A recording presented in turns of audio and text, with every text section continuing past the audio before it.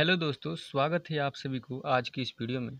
आज के हम वीडियो में किसी से सीखेंगे कि कैसे किसी भौतिक राशि का एस आई मात्रक निकालना सीखें। तो एस आई मात्रक निकालने के निकालने के लिए और जानने के लिए, पहचानने के लिए वीडियो के एंड तक बने रहें। तो सबसे पहले एस आई यूनिट होता क्या है, इसको समझने के लिए हम पहले इस डिफिनेशन को समझेंगे। ये जो डिफिनेशन है, ये बोला है कि प्रत्येक भौतिक राशि को मापने के लिए स्वेच्छा से चुने गए किसी निश्चित परिमाण को मात्रक कहते हैं। मतलब हर एक राशि को मापने के लिए कुछ ना कुछ स्वेच्छा से मतलब उसका मात्रक चुना गया। उसी को हम लोग मात्रक बोलेंगे। जैसे यहाँ पे लंबाई को मापने के लिए हम मीटर का यूज़ करते हैं। द्रव्यमान को मापने के लिए हम केजी का यूज़ करते हैं और समय को सेकंड में मापते हैं विद्युत धारा को एम्पियर में। इसी प्रकार से ये जो सात भौतिक राशियाँ हैं, इसको मापने के यूनिट बनाए गए हैं और ये सारे जो हैं, इसके संकेत हैं। तो इस प्रकार हम किसी भी भौतिक राशि का हम ये सही मात्रक आसानी से निकाल सकते हैं। तो चलिए कुछ भौतिक राशियाँ लेते हैं और उसको हम सॉल्व करते हैं कि इसका ए सही मात्रक क्या होगा। तो जैसा कि हमने एक लिया है बेग का ए सही मात्रक क्या होगा। तो बेग का जो ए सही मात्रक हुआ है बेग बराबर होता है विस्थापन बटा समय। यानी विस्थापन में परिवर्तन की दर को हम बोल देंगे बेग होता है। तो विस्थापन जो होता है, ये जो होता है ये भी दूरी का ही एक छोटा मान है, यानी जो दूरी होता है वो लॉन्ग डिस्टेंस को बोलते हैं, ये जो विस्थापन है, यानी शॉर्ट दूरी होगा। यानी कहने का मतलब यानी इसको मापेंगे, ये भी मीटर में मापा जाएगा, क्योंकि लंबाई हम अभी बताएँ कि मीटर में मापा जाता है। तो यानी यहाँ पर हो जाएगा विस्थापन के लिए मीटर और ये हो जाएगा नीचे समय के लिए सेकेंड में। यानी यहाँ से इसका ऐसे मात्रक निकलेगा मीटर प्रति सेकंड। बस यही तो समझना है, इसमें ज़्यादा कुछ कंसेप्ट हार्ड ना है, बस इसको भौतिक राशि मालूम होना चाहिए और उसको मापने की यूनिट मालूम होनी चाहिए कि उससे कैसे मापेंगे। जैसे एक और कुछ अलग सा लेकर देखते हैं, जैसे यहाँ पे त्वरण है तो त्वरण जो है, ये होता है बेग में परिवर्तन की दर को हम बोलते हैं त्वरण।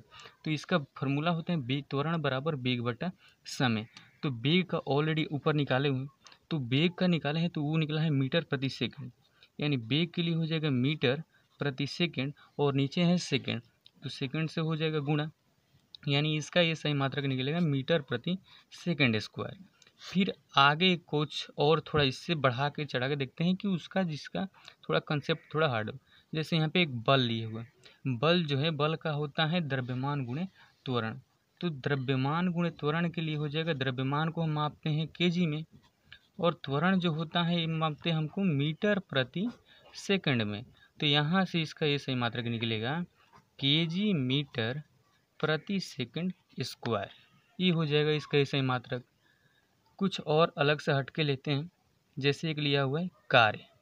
तो कार्य का जो ये सही मात्रक होता है, इसका जो फॉर्मूला होता है बल गुने विस्थापन होता है। यानी इस बल के लिए हो जाएगा। आप बल को न्यूटन में ही मापा जाता है। चाहे इसको ऊपर जैसे निकाले हुए हैं के जी मीटर प्रति सेकेंड स्क्वायर, ये भी हो जाएगा, ये न्यूटन के बराबर होता है।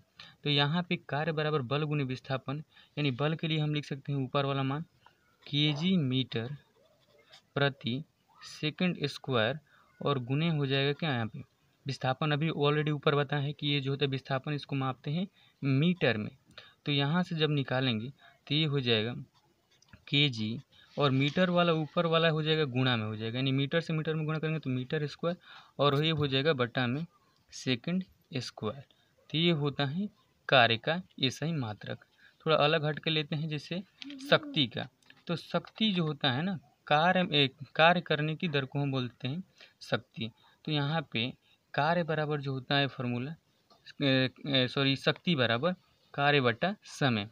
तो यहाँ पे कार्य ऑलरेडी अभी निकाले हैं कि ये होता है के जी मीटर स्क्वायर प्रति सेकंड स्क्वायर इसको बटा में भी लिख सकते हैं सेकंड स्क्वायर और फिर नीचे क्या है समय।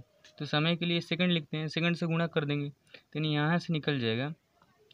ये हो जाएगा के जी मीटर स्क्वायर और सेकंड के पावर में यहाँ पे कुछ नहीं है तो एक है। यानी ये जुटेगा तो दो एक तीन हो जाएगा।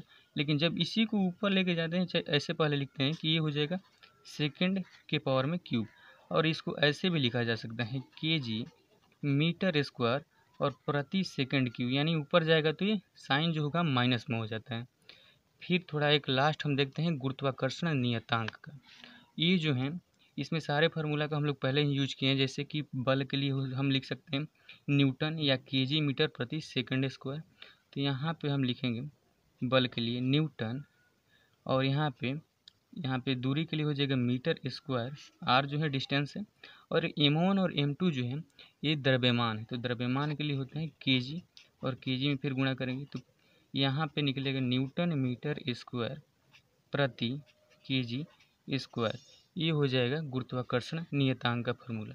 तो इस तरह से हम किसी भी भौतिक राशि का ये सही मात्रक निकालना सीखते हैं। तो उम्मीद है कि वीडियो अच्छी लगी तो वीडियो अच्छी लगी हो तो इसे लाइक और शेयर करना ना भूलें। धन्यवाद।